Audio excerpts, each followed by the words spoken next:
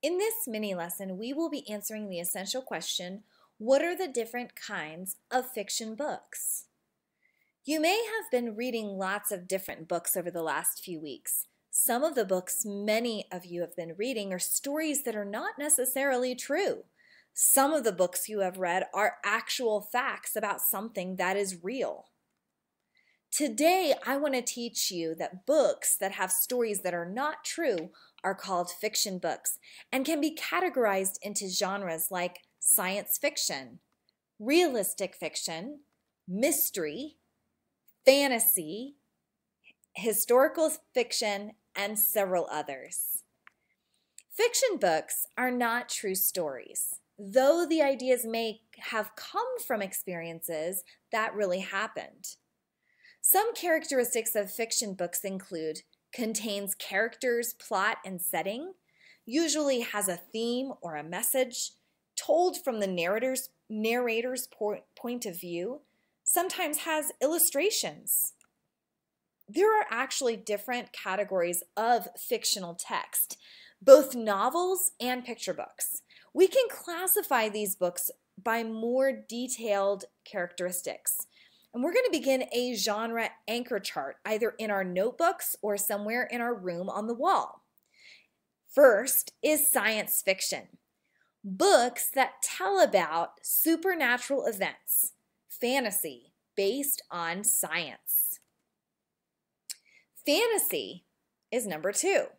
Books that contain unrealistic elements, such as Charlotte's Web.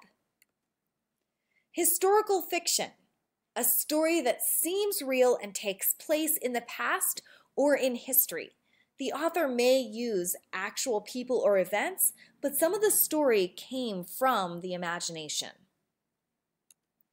4. Traditional literature. Stories that were passed down orally throughout history. They include folk tales, fairy tales, myths, and legends. Fairy tales have magic in them. Folk tales are just old stories that people tell, and sometimes they have a lesson in them. Now let's have a fiction sort. This can either be an activity that you do now or do later in book clubs or do as a discussion activity. Either way, here are the directions. Have students sit in groups of three to four and share the book that they're currently reading. Explain to your classmates whether you are reading a fiction or nonfiction book. If it is fiction, tell what category you would place it in on the genre chart and why. My goal is that you have time to talk and come up with the genre and reasoning for the genre that you place your book in. Your book club teammates can also help you if you are unsure. Remember, fiction books are not true stories, though the ideas may have come from experiences that really happened. Today's book talk book is Wonder by R.J. Palacio. August, Augie Pullman, was born with a severe facial difference that, up until now, has prevented him from going to a mainstream school. Starting fifth grade at Beecher Prep, Augie wants nothing more than to be treated as an ordinary kid but his new classmates can't get past his extraordinary face. Wonder begins from Augie's point of view, but soon switches to include the perspectives of his classmates, his sister, her boyfriend, and others.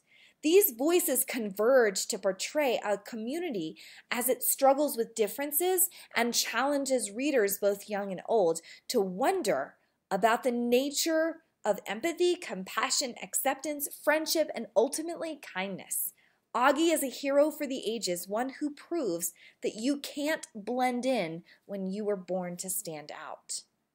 So if you want to look out look at this book, you might want to check out your library.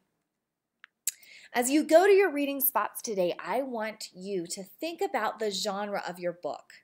Look for certain characteristics that make it a historical fiction realistic fiction or fantasy book. Also, remember to stop a couple of times and make a prediction about what might happen next.